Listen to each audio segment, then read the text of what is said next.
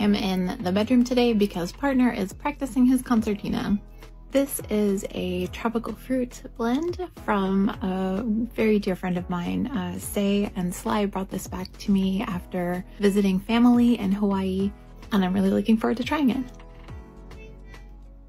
Oh, that's interesting. It's very fruity. Usually the kinds of fruits that you have in teas like apple, I don't usually like those, but this is this is another one that I think would be really good iced. That's pretty tasty. I give it a 7 out of 10.